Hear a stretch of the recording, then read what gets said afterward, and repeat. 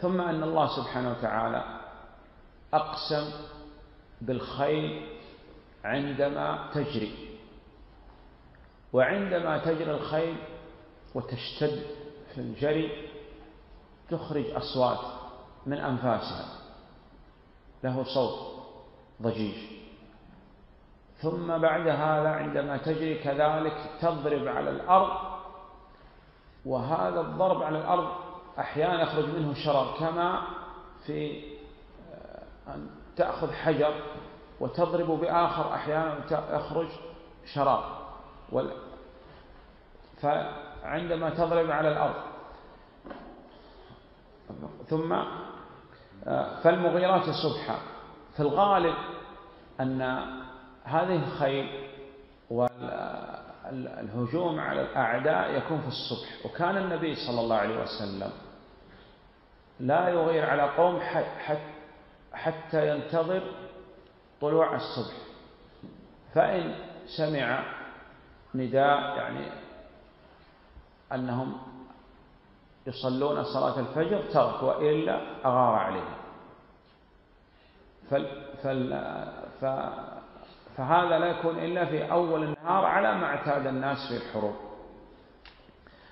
فهذه عندما تجري وتخرج أصوات بأنفاسها وتضرب على الأرض ويخرج شيء من الشراب ويكون هذا في أغلب الأحيان في أول النهار. تثير أي أن الغبار يخرج. ثم في الغالب أن الخيل مع كما قال النبي صلى الله عليه وسلم معقود في نواصيها الخير وأنها لا تخاف. وتقتحم في وسط العدو. يقال والله أعلم أن الجيوش متراصة صفوف وابتدأت المعركة. انطلق الزبير على فرسه كالسهم داخل العدو. فرأى العدو هذا الفارس على خيل وهو رجل واحد. رجل واحد يدخل في في جيش كامل. فقالوا ما يمكن أن يكون هذا مقاتل. هذا رسول يريد القائد. ففتحوا له الطريق. فدخل إلى القائد قضى عليه ورجع. هذا كان حال الصحابة أخوان. لو تنظر في حال الصحابة رضي الله عليهم وتنظر في حال الروم والفرس وهؤلاء كان الفارس من الروم والفرس يخرج مدجج بالسلاح مغطى بالحديد ما يرى منه شيء. ومع هذا يخرج له أحد الصحابة ليس عليه شيء وليس عليه كذا ويقتل في أسهل ما يكون. أهم ما يكون التوحيد. إن تنصروا الله ينصركم. إن الله يدافع عن الذين آمنوا. ولقد سبقت كلمتنا لعباد المرسلين. آه.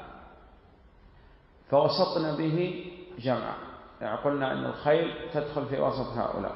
نعم. ثم آه، قلنا أن الله سبحانه وتعالى له أن يقسم بما شاء من مخلوقاته. وليس لنا أن نقسم إلا بالله سبحانه وتعالى. من حلف بغير الله فقد كفر أو أشرك. إن الإنسان لربه لكنود يعني الناس تجاه النعم. قال الله سبحانه وتعالى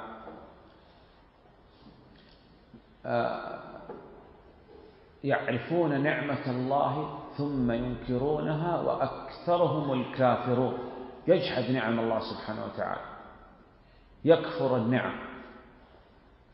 فلما رآه مستقرا عنده قال هذا من فضل ربي ليبلوني. أشكر أم أكفر. ومن شكر فإنما يشكر لنفسه ومن كفر فإن ربي غني كريم. أصبح من عبادي مؤمن بي وكافر. إن الإنسان لربه لكنود يعني يكفر ويجحد النعم إلا من رحم الله. وإنه على ذلك لشهيد. إما أن الإنسان يعرف هذا من نفسه أنه جاحد للنعم إلا من رحم الله. أو أن الله سبحانه وتعالى شاهد على هؤلاء بكفرهم النعمة. يعرفون نعمة الله ثم ينكرونها وأكثرهم الكافر. ويصح الجمع بين القولين. وإنه لحب الخير لشديد وقال هذا يعني في كل الناس. كل واحد منا يحب الخير لنفسه. وحريص.